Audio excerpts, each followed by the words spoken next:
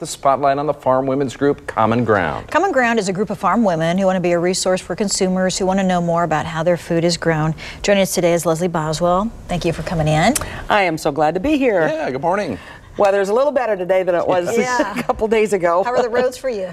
Uh, they weren't too bad. Uh, A little slick here in town, but other than that, the highways are good. Yeah, alrighty. Well, it's a new year and a lot of people want to lose weight.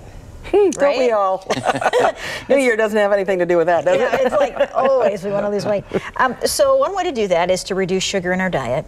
And some people are trying to avoid uh, high fructose corn syrup. Is it bad for you? No. Very simple answer no.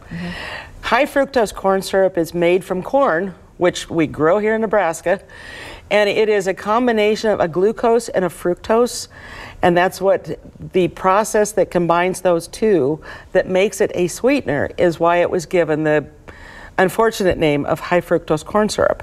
And it's had kind of a bad connotation for a long time, but it's actually been commercially available since about 1970. Wow. So you're saying it's not any different than just sugar?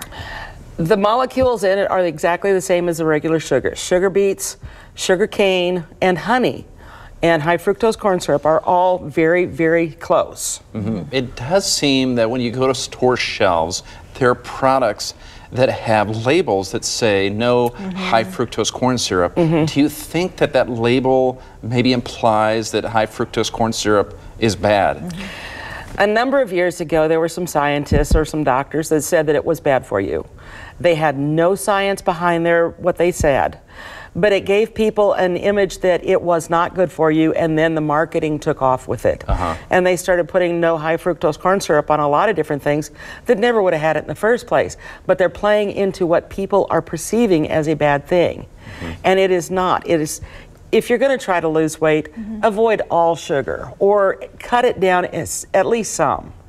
Um, it's a very economical sweetener, and that's why a lot of it is used in sodas, in protein, or not in protein drinks, but energy drinks and a lot of stuff like that. A lot of over the counter things that are sweetened, like cookies and things. Mm-hmm. That's the kind of stuff you need to be avoiding. It's not the high fructose corn syrup, it's just cutting down on your sugar intake altogether. Mm-hmm. overall on these things. Okay. Right. So are corn producers concerned about this product labeling?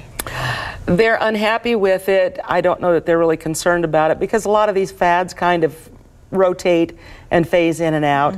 Um, they're assuming that at some point people will start to get the right idea about this, about it's not different than regular sugar, and that it'll kind of go away. The production is still there. As long as we're still drinking soda pop, it's going to be there. Mm, So, kind of the bottom line is when you're reducing sugar in your diet, reduce all sugars, all forms of sugar, not just high fructose corn syrup. Absolutely. And the one thing they say, the first thing to cut out is pop because it is worthless calories, I think. You're getting mm-hmm. nothing out of it other than just the taste.